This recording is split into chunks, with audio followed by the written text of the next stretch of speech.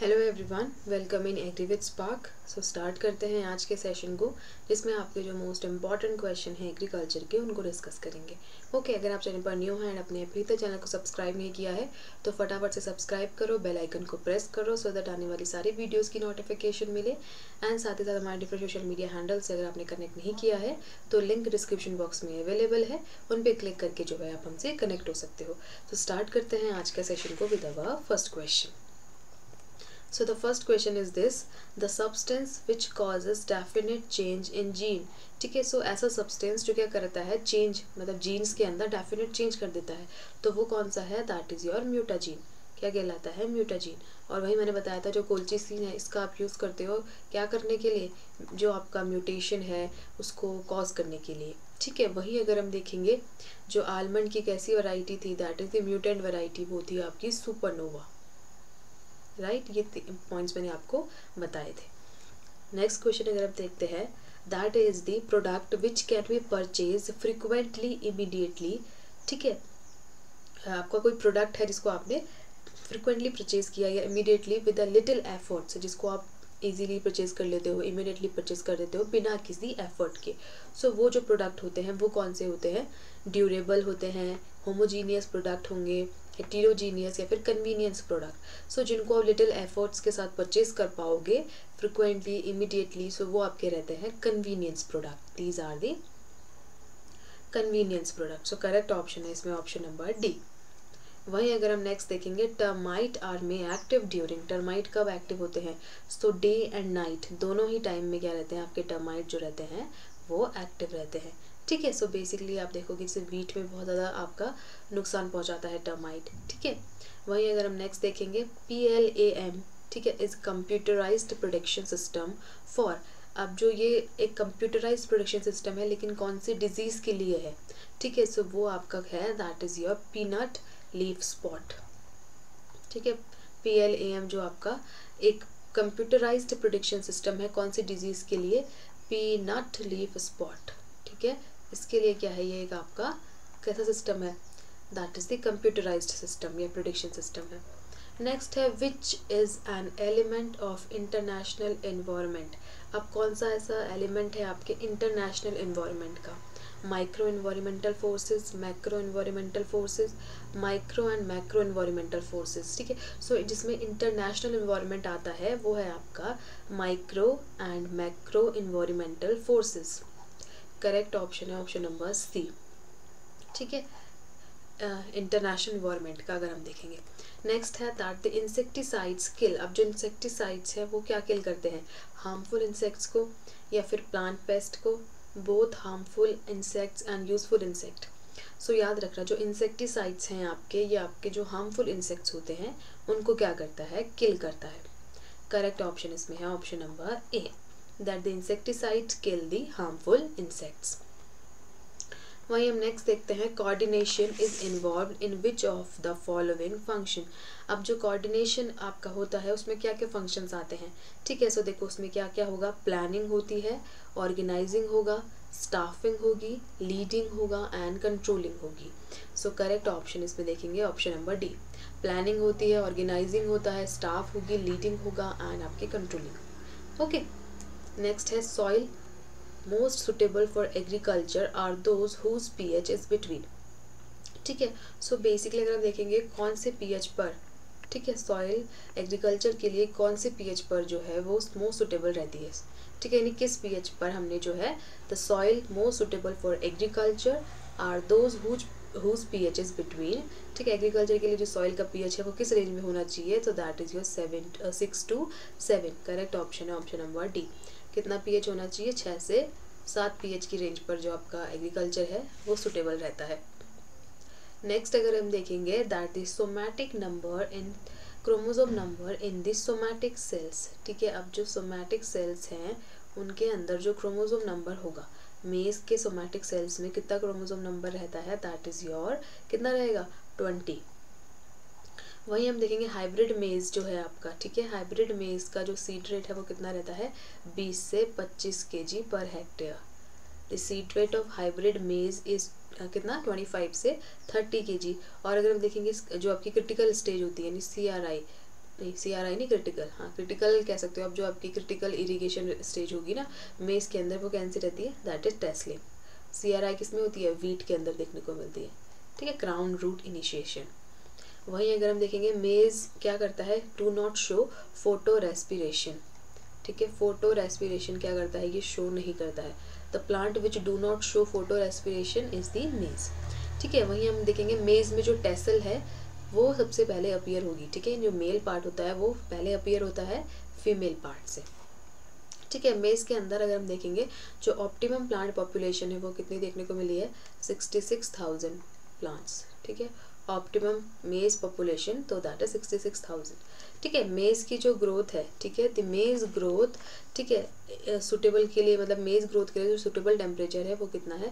Thirty two degree Celsius okay maize की growth के लिए सुटेबल टेम्परेचर कहता है, कौन सा कितना रहता है? थर्टी टू डिग्री सेल्सियस वहीं द नेचुरल साइटोकाइनिन क्या नाम है उसका? That is zeatin the natural cytokitin kitin that is zeatin is extracted from the maize water use efficiency कितनी बताई है मैंने मेज की? सो so, याद रखना दैट इज़ दी एट ठीक है मेज की वाटर यूज़ एफिशिएंसी कितनी रहती है? एट वहीं हम देखेंगे जो इरोजन परमिटिंग क्रॉप है जो इरोजन को परमिट करती है वो कौन सी होती है? मेज पर्ल मिलेट एंड सॉर्गम और वही एरोजन रेजिस्टिंग क्रॉप जो है वो है आपकी मैंने बताई थी कौन सी होती है? जनरली ग्राउंड नट होगी जिस तरीके से ठीक है? इसी तरीके से बहुत सारी ऐसी क्रॉप्स आपकी जिसमें आपको जो क्या करती हैं इरोजन को आने देती है। ठीक है जैसे ये परमिट कर रही है एरोजन को आने दे रही है। एक होती है रेजिस्टेंट जो एरोजन को नहीं लाती है। ठीक है सो ये आपकी क्रॉप्स रहती है जो आपको याद होनी चाहिए। वही प्रकाश एंड मेघा, ठीक है, कौन सी variety Prakash and Megha.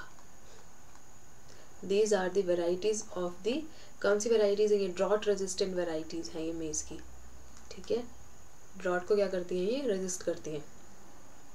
Okay so ये आपके जितने भी इंपॉर्टेंट पॉइंट्स थे मेज से रिलेटेड वो यहाँ पे बता दिए।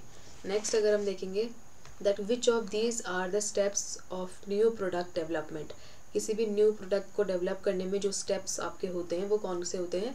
आइडियाज़ का creation screening of the ideas business analysis या ऑल ऑफ़ दीज सो ये आपका करेक्ट ऑप्शन है, उसमें ऑप्शन नंबर डी आइडियाज़ का क्रिएशन करोगे उसके बाद स्क्रीनिंग करोगे अपने आइडियाज़ की, उसके बाद उसका बिज़नेस एनालिसिस करोगे, उसके, ठीक है, ये सारे पॉइंट आपके रहते हैं। नेक्स्ट है supply chain mapping is the study of supply chain जो मैपिंग है उसमें लॉजिस्टिक नेटवर्क की स्टडी करते हो एक्टिविटी सीक्वेंस की स्टडी करते हो value and non value added activities करोगे। करेक्ट ऑप्शन है option option number C value and non value added activities ठीक है? इसकी आप क्या करोगे? स्टडी करोगे। नेक्स्ट है the break even pricing strategy is called अब जो ब्रेक इवन प्राइसिंग स्ट्रैटेजी है, ये आपका किसमें ये आएगा it is also called okay that the break even pricing strategy is called the target return pricing correct option है option number B break even pricing है target return pricing okay correct option option number B next है the standardization relates to standardization में क्या आपको देखने को मिलता है? काइंस होते हैं टूल्स होते हैं production of techniques so correct option option number D okay next है, that according to the Tuckman's theory, the end phase of group development stage is called. ठीक है टकमैन थ्योरी के हिसाब से अगर हम देखेंगे, जो एंड फ़ेज़ होता है ग्रुप डेवलपमेंट स्टेज का जो एंड फ़ेज़ होगा, वो क्या रहता है? एडजोरिंग करेक्ट ऑप्शन है इसमें option number A next is a management is management basically क्या होता है? So power of getting things done people who manage an organized body of knowledge या फिर the board of directors so management is what management is the power of getting things done कि जो भी चीज़ें हैं, उसमें क्या है? मतलब आपने कंप्लीट किए हैं that is the management correct option है option number A The power of getting things done is the management. Now, the first step involved in the implementation of the supply chain management system. Supply chain management system के अंदर जो first step आता है वो क्या होता है that is the performance measurement. Correct option है option number C. The first step in the implementation of supply chain management is the performance measurement Of the following is an external material and non transferable ठीक है exchangeable कौन सा होगा? External material कौन सा होगा? और नॉन ट्रांसफरेबल जिसे आप ट्रांसफ़र नहीं कर सकते। हो सो so, वो आपका रहता है दैट इज़ दी क्या स्किल ऑफ़ अ डॉक्टर या आपके conduct a good certificate table of business goodwill of business या फिर टेबल सो so, वो है आपकी that is the external material and can not be या कैन नॉट बी ट्रांसफरेबल वो है आपका क्या? That is the goodwill of business ठीक है एक्सटर्नल है एंड आपको ट्रांसफ़र नहीं कर सकते। ना the sweet potato aphid mainly attacks on जो स्वीट पटैटो एफिड है, ये उसमें जनरली कहाँ पे अफेक्ट करेगा? तो ये उसकी लीव्स में अफेक्ट करता है मोस्टली वही हम देखेंगे इसकी जो वेराइटी है, कौन सी? श्री कनका इंपॉर्टेंट है, याद रखना that Shri Kanaka is the variety of a sweet potato वही इसकी एक वेराइटी है that is B H U Krishna B H U is for the biofortification जो वेराइटी है, ये इसकी बायोफोर्टिफाइड वेराइटी है एंड इसमें क्या है? एंथोसाइनिन रिच है। ठीक है? B H U Krishna is the variety of a sweet potato which is rich in anthocyanin okay next है red nymph of red cotton bug damages so जो red cotton bug है वो क्या damage करता है आपके ग्राम में? Wheat sugar cane lady finger so जो निम्फ होता है रेड कॉटन बग का वो शुगर केन को इफ़ेक्ट करता है। रेड कॉटन बग का जो निम्फ है वो किसको डैमेज करेगा? That is your sugar cane sugar cane के ग्रोथ के लिए जो बेस्ट टेम्परेचर देखा गया है वो है ट्वेंटी सिक्स से थर्टी टू डिग्री सेल्सियस का। वहीं हम देखेंगे एक हेक्टेयर के लिए जो शुगर केन है उसके कितने सेट्स चाहिए होंगे? थर्टी फाइव थाउज़ेंड से फोर्टी थाउज़ेंड तक के। ठीक है? For the one hectare how many sugar cane sets are required thirty five thousand to forty thousand ठीक है? वहीं हम देखेंगे फोर वीड मतलब फोर मंथ तक आपको क्या देखने को मिलता है शुगर केन में? फोर मंथ तक क्रॉप वीड कंपटीशन देखने को मिलता है। ओके अच्छा बंची टॉप जो होती है शुगर केन में, किस, क्या होती है? बंची टॉप होता है ना शुगर केन में तो ये किसकी वजह से होता है? That is the top shoot border sugar cane top shoot border की वजह से क्या देखने को मिलता है? बंची टॉप देखने को मिलता है। वही शुगर केन के अंदर एक डिज़ीज़ होती है दैट इज़ पाइन डिज़ीज़ ठीक है? पाइन डिज़ीज़ आपको शुगर केन में देखने को मिलती है, जो आपके किसकी वजह से होती है? दैट इज़ सीरा सिराटोसाइस्टिस्ट यहाँ पे लिख देती हूँ मैं। दैट इज़ सिराटोसाइटिस्ट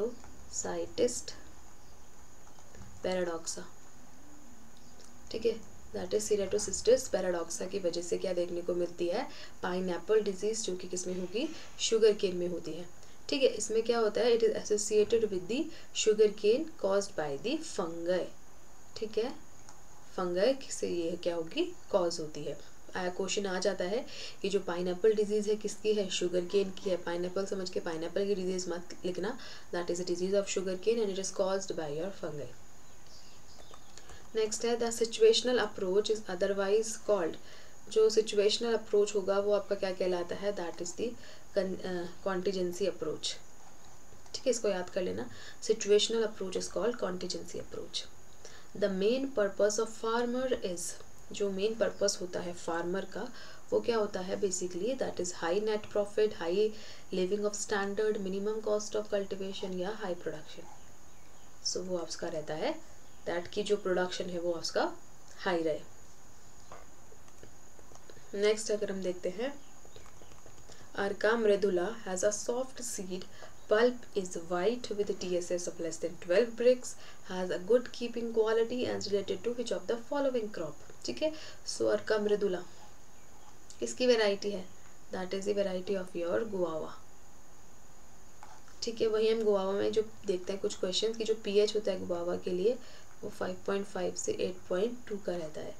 ठीक है, अर्का मृदुला गुआवा की वेराइटी है। गुआवा के लिए पीएच 5.5 टू 8.2 रहता है। पूसा सिरिजन, क्या रहता है? पूसा सिरिजन किसकी वैरायटी है? मतलब वैरायटी नहीं दैट इज़ रूट स्टॉक है। तो ये आपका गुआवा का रूट स्टॉक है।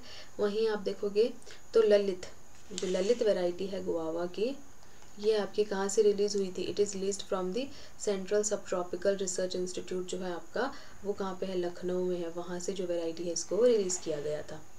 ओके okay, इंपॉर्टेंट है याद रखना कि जो अर्का मृदुला है गुआवा की वेराइटी है ललित वेराइटी भी गुआवा की है जो सेंट्रल आपका सब ट्रॉपिकल रिसर्च इंस्टीट्यूट है लखनऊ में वहाँ से इसको रिलीज़ किया गया है। ओके पी एच से एट रहता है। नेक्स्ट है what is the type of intercropping widely used in India India के अंदर मोस्ट वाइडली इंटरक्रॉपिंग जो यूज़ होगी वो है रो इंटरक्रॉपिंग कौन सी इंटरक्रॉपिंग इंडिया में यूज़ होगी? Row intercropping